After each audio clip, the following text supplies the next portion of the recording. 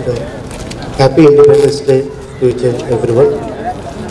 Uh, respected uh, principals, Dr. Ramesh garu, uh, Mrs. Madam garu, and uh, Ramesh garu, Incharge Principal Vijayam garu, and uh, Dr. Subbarao garu, and Registrar Professor Peki, and uh, Professor Vai Srinivasan garu, Dr. Mathareddy garu, Jyotirma garu, and my dear faculty and students. Thing, every year, August 15, we are celebrating the National Independence Day. Each and everyone will remember why we are celebrating. It is a sacrifice of the so many great Indian uh, leaders, and we got the independence on August 15th. And this is the 73rd Independence Day. First thing, we have to remember all the great freedom fighters. From Mahatma Gandhi onwards, there is so many leaders are there. So you can see there are some people belongs to our East and West Godavari. So we have to remember their life and their efforts towards getting the independence. And next thing, so being an independent India, free India. So what we are achieved from 73 years, last 73 years.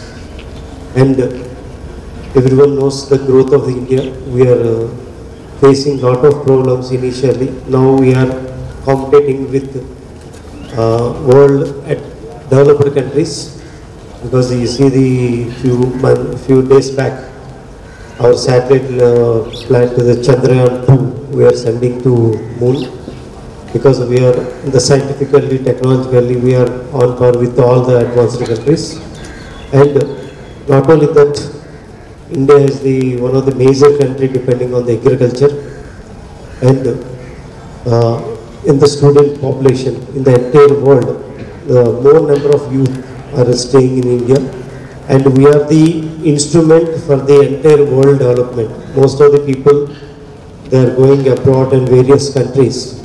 In that place also, the Indians are playing a major role. Even the American Space Research Agency, NASA also, there is a 25% of the Indians are staying there. So this is the great achievement of the Indian people. So next to come to the, our university, everyone knows, university is established in 2006. Initially, first six years, we are stayed in the government arts college. Even we are not having any place to host the, host the flag also. Now we have a sufficient infrastructure. Still, we are developing, so we require a full-fledged infrastructure at the earliest. So we are came here in the 2014 in this campus. From last five years, everyone here seeing the growth of the university. Still, this academic year, there's the five buildings are started, like College of Engineering, College of Arts, College of Education, and Examination Building, and boys, one more boys hostel. So in future, we are expecting to start another science college, science college block two, and uh, MBA college, exclusive MBA college. So this is the getting university. And come to the faculty point of view, I am very much happy to each and every faculty, they are doing well, they are uh, committing to a teaching, and there is a small lack in the research. I request all the faculty members, you look towards the research. Our Adikavi Nannaya University, everyone knows it is the largest university in the state. In a similar way, we have to show our efforts towards the research and the center of excellency because most of the universities there we are calling as center of excellencies. So we require that center of excellencies should be there in our university. Everyone should call our university also center for excellence. I request all the faculty members to work towards the direction. And regarding to the students, I am happy each and every student you are putting a maximum efforts for the development of yourself and as well as the institution because whenever we are calling because yesterday also the ministries came suddenly the program is fixed. I'm very happy because uh, even ministries expressed happiness. The students are very calm and they are listening what they are saying.